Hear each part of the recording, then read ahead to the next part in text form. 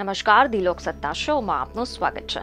જ્યારથી corona virus ફેલાયો છે, ત્યારથી લોકોને સોશિયલ ડિસ્ટન્સિંગ જાળવવા કહેવામાં આવી રહ્યું છે.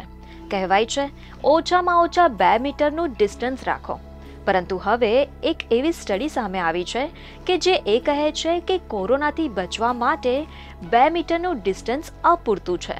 કારણ કે માનવ લાળના ટીપા ઓછી ઝડપે હવામાં પણ છ મીટર સુધી તો ટ્રાવેલ કરી જ શકે છે. તમને જણાવી દઈએ કે આ સ્ટડી અમેરિકન ઇન્સ્ટિટ્યૂટ ઓફ ફિઝિક્સના ફિઝિક્સ ઓફ ફ્લુઇડ્સ જર્નલમાં પ્રકાશિત થઈ છે. આમાં સંશોધનકારોએ શોધી કાઢ્યું છે કે જ્યારે હવાની ગતિ શૂન્ય હતી, ત્યારે લાળના ટીપાએ બે મીટરથી વધુ ટ્રાવેલ નહીં કર્યું, જે સોશિયલ ડિસ્ટન્સિંગના નિયમો માટે એકદમ યોગ્ય છે.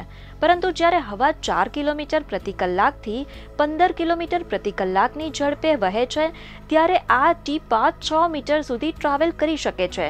તે પણ માત્ર પાંચ સેકન્ડમાં. જી હા લાળના ટીપા પર સંશોધનકાર તાલિબ ડીપોક અને દિમિત્રીસ ડ્રેગાકીસે આ સ્ટડી કરી છે.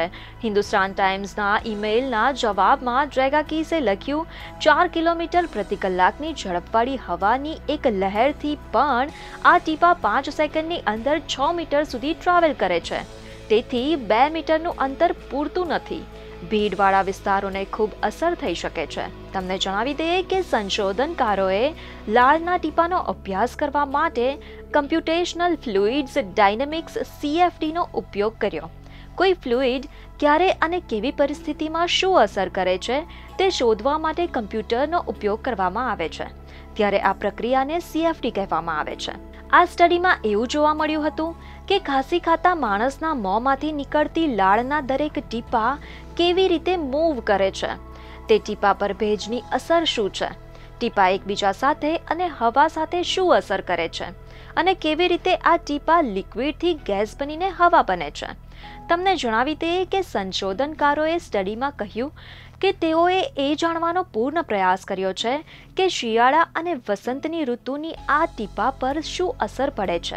આને લઈ ટ્રેકાકીસ કહે છે કે અમારે ટીપાના બાષ્પીભવનને હજી વધુ ઊંડાણપૂર્વક સમજવું છે.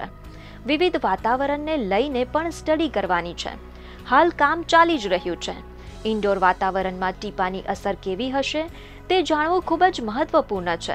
આ સિવાય એસીમાં તેના ટ્રાવેલ ટાઈમ પર શું અસર થશે તે પણ જોવાનું છે. જી હા, વૈજ્ઞાનિકો કહી રહ્યા છે કે હાલ જુદા જુદા વાતાવરણ મુજબ સ્ટડી કરવાની બાકી છે. પરંતુ આ સ્ટડી સોશિયલ ડિસ્ટન્સિંગના સૂચનના સંદર્ભમાં સમજવી અને થવી ખૂબ જ જરૂરી છે. પીછેને ખબરો સાથે ફરી મળીશું. ધન્યવાદ. તમે અમારો આ વીડિયો જો યુટ્યુબ પર જોઈ રહ્યા હોવ, તો તરત જ અમારા યુટ્યુબ ચેનલને સબસ્ક્રાઇબ કરો.